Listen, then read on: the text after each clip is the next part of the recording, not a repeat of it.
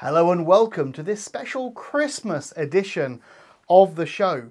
Now, I do appreciate I haven't been putting out so much content recently, and that's because I've been super, super busy at work. But I am joined today by my good friend Timur, who's going to be talking about how to clone MasterCards using Google Pay. Now, this is something that we all pretty much use, where we all store our cards in our phones because it's convenient, or have it on your watch as well so you can pay. And today he's going to show just what can be done and what can't be done. Anyway, thank you. Over to you, Timur. Thanks, Quentin. Uh, yeah, the Christmas is close, uh, and as you may know, in November at Black Hat we shown about vulnerabilities uh, in transport car in transport modes, Apple Pay, Samsung Pay, and the part of our research was about Google Pay. But Google Pay had uh, their own specifics. It was not about transport cards. We already shown things related to Visa. That's why during most of like presentation interviews, I was uh, not given too much of details, referring to the white paper and today I'm gonna fix this problem. Today I'm gonna show how to make a clone uh, of GPay uh, mobile wallet with uh, active MasterCard card by default. And what's the actual risk to the ordinary person? So the person watching this, what's the what's the risk? What's the worst that someone could do with this? Well, imagine that you you haven't lost your phone, but you you didn't know where it was for about five ten minutes. Well, it literally That's not an uncommon scenario. Literally can be seconds. Yeah. And then you found your phone. You feel pretty comfortable. You don't need to worry about anything. No, because you, you found it. You've got it. You can even unlock back your yeah, yeah, uh, yeah. your card. Yeah, you didn't need you, you call your bank. Uh, but then suddenly there is a chance someone gonna use uh, the data that we're able to steal within this very short window of opportunity to make payments in, in supermarkets anywhere at any stores and for even, anything they want? Yeah and even normally the phone locked phone has restrictions. Now it's like essentially 100 pound per transaction. This restriction can be bypassed. Uh, and basically what hackers need to do is that they just need to be persistent enough. They need to go and tap and tap and tap. And after 20, 30, 50 attempts, they were able to hit the nail and basically get information to steal money from your card. And what are they doing in those 30 attempts? Uh, well, basically, it's it's about the old vulnerability covered by Michael Rowland uh, in 2013 and about the legacy modes of MasterCard. So uh, when and these are in place because of the US. Master, when Mastercard transmitted information, made NFC cards, yeah, yeah, and they, they took most of information from EMV, yeah, and, and like followed the standard protocols of EMV. However, they were very keen to explore uh, very mature by that time US market. Mm. In US market, point of sales did not support cryptography and EMV massively relies on the cryptographic functions on the terminal, yeah, offline data authentication, mm. public key exchange, RSA, etc., etc. And to avoid this, they've created uh, AKA legacy modes, mm. which are like a silly, very insecure, uh, well, less secure methods, but on NFC.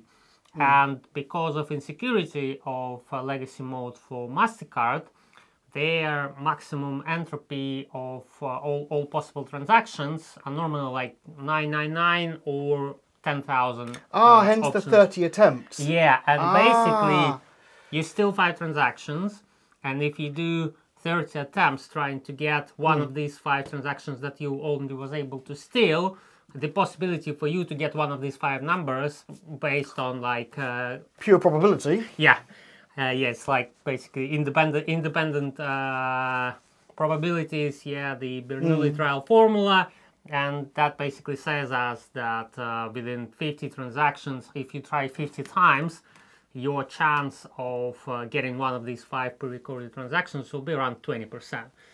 Yeah, so people twenty percent is, uh, is is betting odds. That's that's really that's that's brilliant. Yeah, yeah, yeah. If all you need is just go and tap and tap and And tap there's very tap. little risk to you. Basically, no risk. Yeah, twenty percent. That's that's not bad. That's good. Uh, well, that's bad actually. I'm sorry, am I saying that's that's bad? I'm not. A, we're not criminals here. Um, okay, so so you're going to demonstrate it today. What we're going to do is going to bring the camera in a bit closer.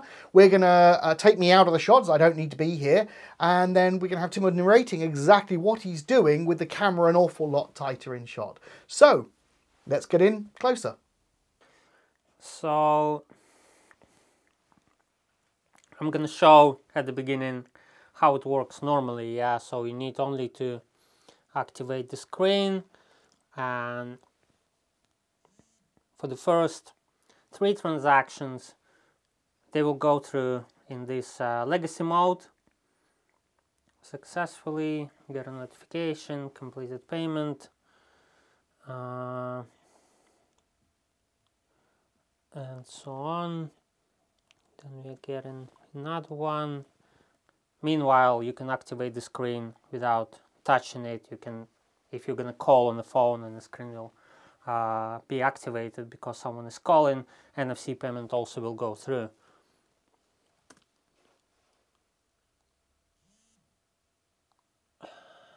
This is number two.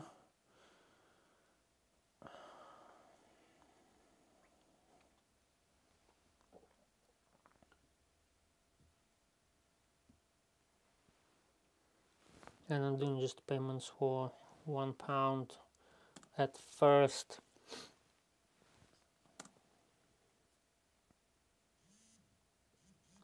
And now it asks already to unlock the phone so you're limited with amount of transactions especially in this mode that you can do.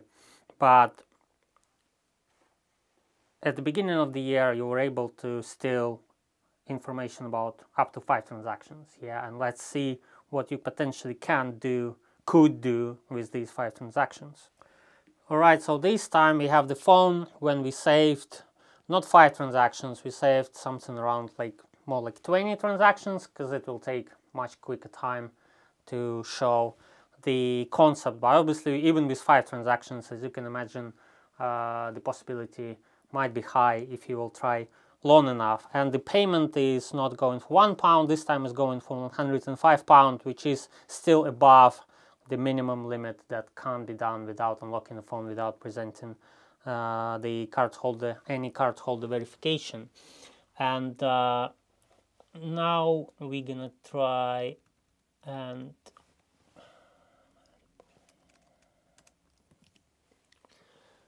to just hit the right uh, random number.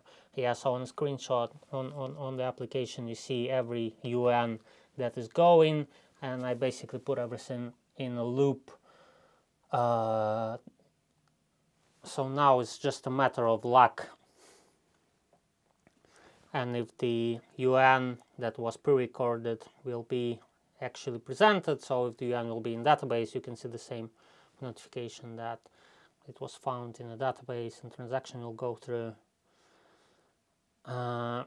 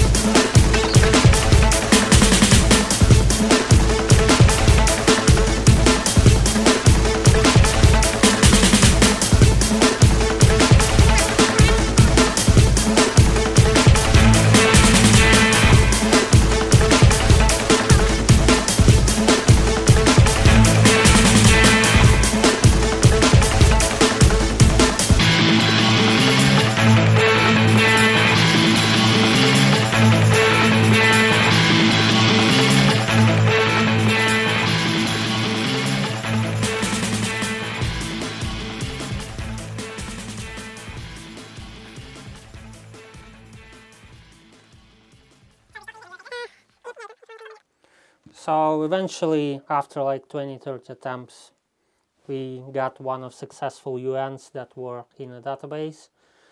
Uh, in the database, was only 20 of them, like randomly spread across number of 150 or something like that.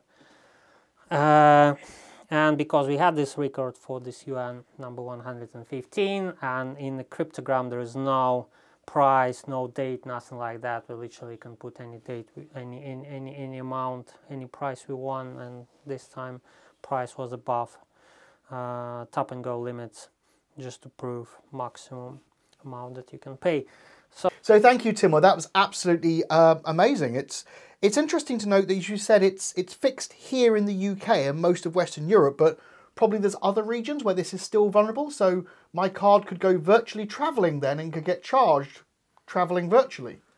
Uh so since March, Google added special feature mm. that disallow uh, that gives a possibility for users to disallow NFC payments on mm. locked phone at all. Uh, so if you have this feature, you just go there, turn it on, and you're fine. Uh, in most of regions, Google slowly reduced uh, amount of transactions that you can do on the locked phone at all. Yeah, so it's like what's going on with cards nowadays in Europe. Mm. Yeah, you have like maximum five contactless transactions, then you need to present a PIN code, use, use EMV, something like that going on with uh, Google Pay approach. Mm. And uh, I saw countries where they literally on my eyes, I seen how uh, slowly thresholds increased. Uh, initially, it was three transactions. There are still regions that allow you to do like up to three transactions. Yeah, mm. they possibly uh, potentially under risk. In the UK, uh, you can't pay unless your phone is unlocked using Which stops mode, it instantaneously. Using, using yeah. this mode, yeah. yeah. In other modes, you still can do it within like these limits of 100 pounds. Yeah, but yeah, more or less, this vulnerability is eliminated. Right, right. Well, thank you for that. So everybody, don't have nightmares. This is being addressed, but obviously you just need to be aware of the fact that with increased convenience, there comes increased features, and with increased features becomes potentially more security issues. So as this is the last video that I will be putting out, more than likely, maybe I'll try and squeeze one in next week of 2021. Please have a wonderful Christmas or festive season. Have a great new year. Um, if you are buying gadgets for your family, for your friends before Christmas Day, remember, right now, right now when you get this video, it might be a good opportunity to get the device out of its packaging and try and update it so that you're not trying to update it on Christmas Day. Because if you have bought a games console, phone, tablet or whatever else, you'll be waiting with 10,000, 10 million other people all trying to press update on the 25th. You don't want your dinner going cold. So have a great, great, great time and please don't hack anything you shouldn't.